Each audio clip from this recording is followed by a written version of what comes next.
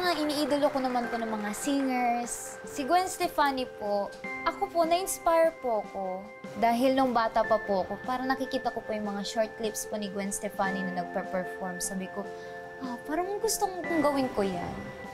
Kung ako po magiging icon, gusto ko pong maalala po ako as ah, inspirasyon po sa mga kabataan pong katulad ko na nangangarap manta. I'm Liana Castillo. Nangangarap po na maging idolo niyo po sa pagkanta. Na Magsisimula po dito po sa The Clash 2023.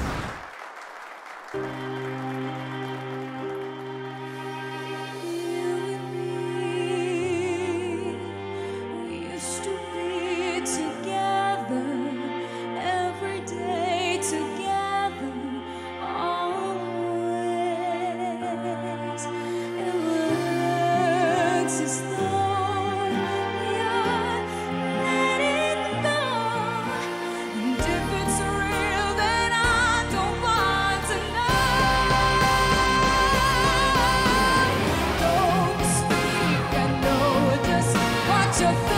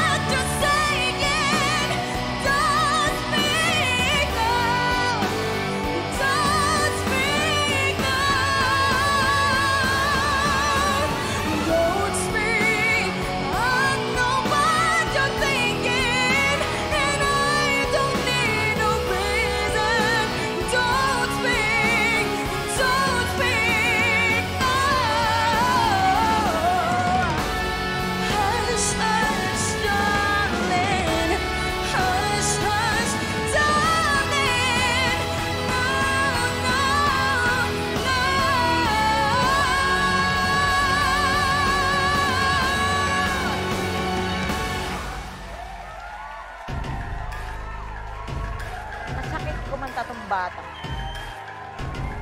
Liana Castillo!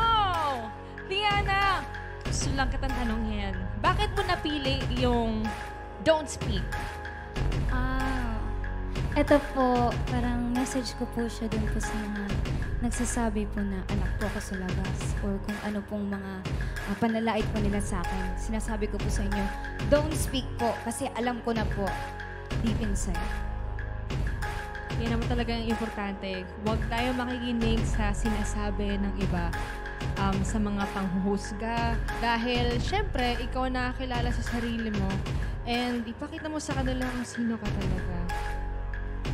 Hash, paano? Ano pong masasabi ninyo? Ang masasabi ko lang habang kumakanta ka, sinabi ko nga kay Maring Lani, etong batang to, ang sakit-sakit kumanta. Masakit ka talaga kumanta, pero magaling kang mag-perform tonight. And bukod doon, ang ganda-ganda mo pa rin sa screen. Thank you po. And para ka pa rin matanda mag-perform. Keep it up, more power, and ang galing-galing mo tonight. Thank you po. Nakakatuwa tong batang to, no, na um, nakita natin kung paano siya nag-grow throughout the, the competition.